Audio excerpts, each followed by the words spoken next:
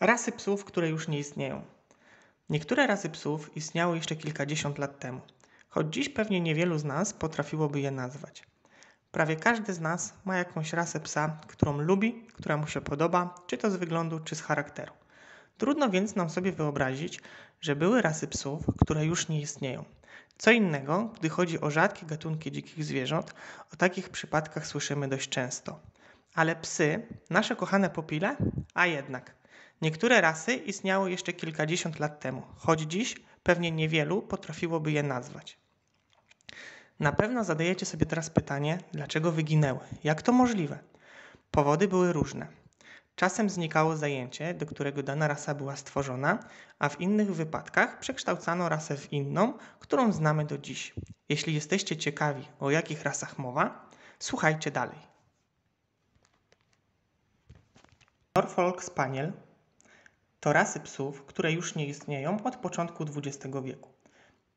Pies na zdjęciu powyżej ma na imię Dash i startował na wystawie Westminster w 1886 roku, ale już wtedy rasa psa powoli odchodziła w zapomnienie. Co ciekawe, w pewnej książce o psach, która była wydana w 1861 roku, Norfolk Spaniela nazwano najpopularniejszą wówczas rasą psów Anglii. Ale wbrew pozorom to właśnie przyczyniło się do jej wymarcia. Łaciatych spanieli było tak dużo, że ludzie przestali traktować je jako konkretną rasę. Nie zwracali uwagi na to, jakie osobniki się rozmnażają. W 1902 roku brytyjski Kennel Club sprecyzował opis średniej wielkości białego spaniela w ciemne łapty i nadał rasie nazwie Springer Spaniel angielski. Bojowy pies z Kordoby. Ten pies pochodzący z Argentyny znany był ze swej zawziętości, agresji i nieustępliwości w walce. W dodatku miał bardzo dużą tolerancję na ból. W jego krwi płynęły geny takich ras jak Mastiff, Bull Terrier, Bulldog angielski i Boxer. Bojowe psy z Kordoby hodowano do walki psów. Rasa ta wyginęła, gdy hodowcy zaczęli kojarzyć psy bojowe z Kordoby z dogami niemieckimi, bullterrierami, dogami de Bordeaux i bulldogami angielskimi by stworzyć zwierzaki bardziej przyjazne człowiekowi i łagodniejsze.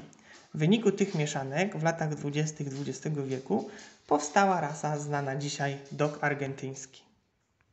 Russian Tracker. Z wyglądu przypomina dobrze znanego Golden Retrievera i nic dziwnego. Wszak inna nazwa rasy Russian Tracker to Russian Retriever. Niektórzy kynolodzy sądzą, że Golden pochodzi właśnie od tej rasy. Russian Tracker był psem bardzo wszechstronnym, służył zarówno jako pies obronny, jak i pies pasterski na dużych obszarach.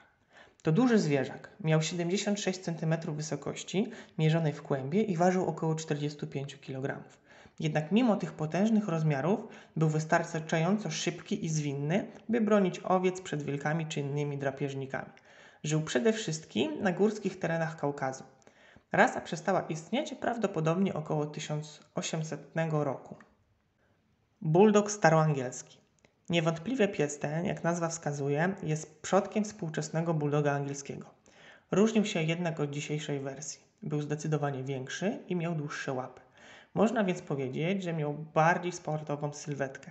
Bulldogi staroangielskie były wykorzystywane do walk psów i na byki. Jednak gdy w 1835 roku w Anglii zakazano walk psów, rasa ta stała się mniej popularna. Później hodowcy zaczęli krzyżować bulldogi z mopsami, by zwierzaki stały się bardziej przyjazne i mniejsze, co spowodowało, że ludzie kupowali je jako psy do towarzystwa. Przy okazji tego połączenia psy nabrały też cech brachycefalicznych, to znaczy ich pyski stały się płaskie. Co ciekawe, w 1970 roku hodowcy rozpoczęli próbę odtworzenia rasy bulldog staroangielski.